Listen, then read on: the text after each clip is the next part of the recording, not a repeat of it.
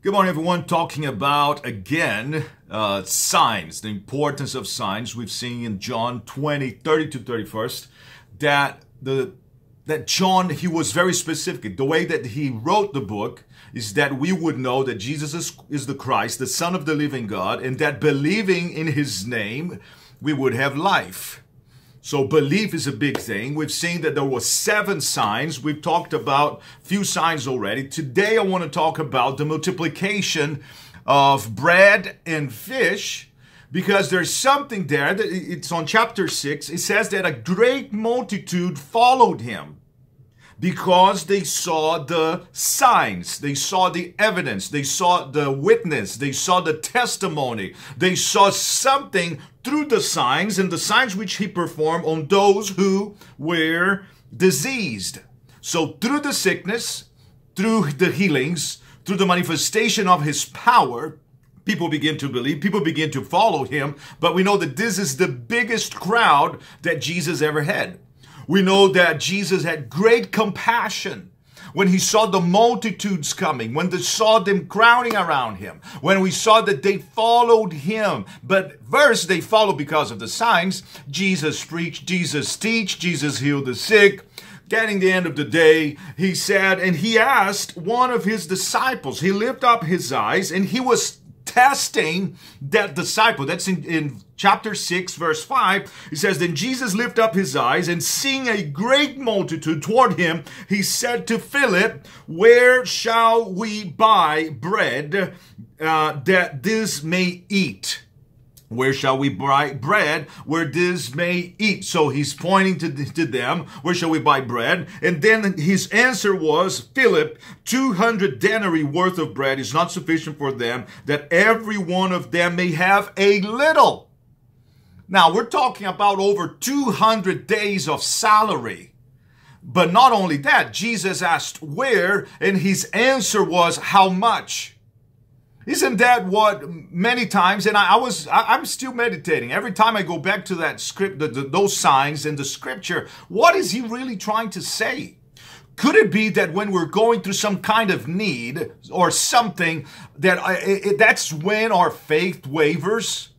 Could it be that when we have a need, it does not only finances, not only provision, not only I want to eat something. Could it be that through the need, we don't realize that He is truly our provider, in every way, in every area of our lives. Because he's asking a question where and he's answering how much would cost. We're always concerned about the cost. We're not realizing that He is the provider. He is the one who can multiply. He is the one who turned water into wine. He is the one who healed those even who were not, you know, they were not even thankful. They were religious. They were bound by tradition. How can this be? So he is a provider that will provide for us. But the point is, hey, Jesus is here. Jesus can make a miracle. How can we learn? Because it's a process. Not, I mean, some of us, very few of us, we, we get it you know but sometimes we have this great faith for you know maybe for healing or great faith for financial breakthrough but we our faith wavers in different aspects when when we see this whole chapter it's really talking about needs. It's really talking about what do you do when people crowd around you? What are you sharing? What are you putting out? What are you doing for those when they come to see the signs? So one of the gospels says that Jesus said, "Go look, go look, go go go find out what you have." Again, a miracle will not take place unless you realize what you have in your hands. And they found this little guy, this little boy, they found a boy that was willing to share his meal.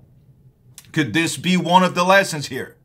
Could this be that sometimes we as adults, we don't share because we think it's not going to make any difference?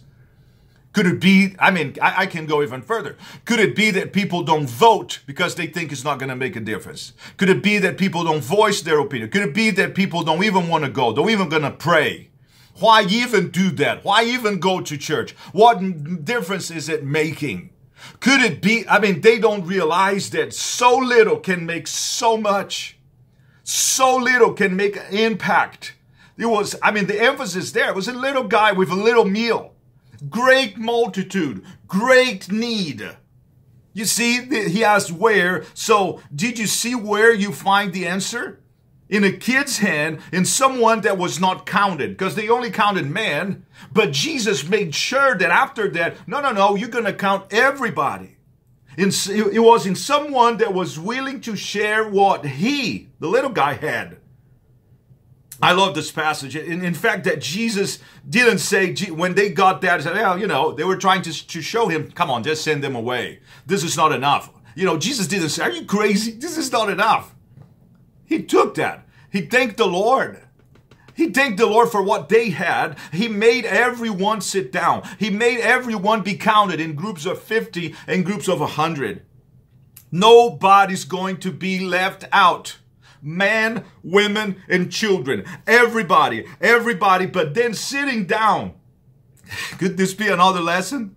Could it be that like it's resting in times of need instead of getting desperate? Resting at his feet, resting at his word, resting at his presence, resting on the, not only on the signs that he's able to perform healings, he's able to bring provision. He's able to fill your cravings. He's able to satisfy whatever it is. Jesus made sure that everyone was counted. Not, no one was going to be left out. So then he, he comes from the hand of this little guy to the hands of Jesus. He prays. He breaks the bread, he breaks the fish, he gives to the disciples. The disciples feed the multitude. So it is in the sharing of what we have. It is in breaking of bread. It is through that process of breaking. I mean, breaking of bread. Does that sound, you know, something like familiar? Communion, the breaking of bread, the bread representing his body the bread that was broken for us, the sacrifice, the suffering on the cross? Could it be that God is able to use the broken pieces? Could it be that God is able to use the broken parts in our lives to feed a multitude? But no, many times we're not willing to share. Many times we don't think it's going to make a difference. But not only that, the Word of God says that everybody. Look, so when they were filled, the word says that likewise they broke the bread as much as they wanted. I mean, if you had just a little bit, it's like, no, don't eat more than that because we, we need to feed this whole multitude. Everybody ate as much as they wanted. Different levels, different, different, I mean, you know, different capacity to eat. Some little, eat little, some much.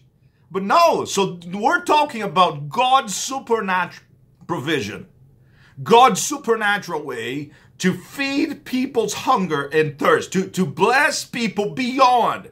I mean, that's it has to be more than we see, more than we hear, more than we think. He's able to do exceedingly above more. All of that. So then he says, when they were filled, he said to his disciples, gather up the fragments that remain so that nothing is lost. Even the leftovers, nothing should be lost. So he's going to use everything. He's going to use the little guy. He's going to use the disciples. He's going to use the multitude. He's going to use the signs. He's going to use the women. He's going to use the word. He's going to use what we share. He's going to use the broken pieces. He's going to use the leftovers.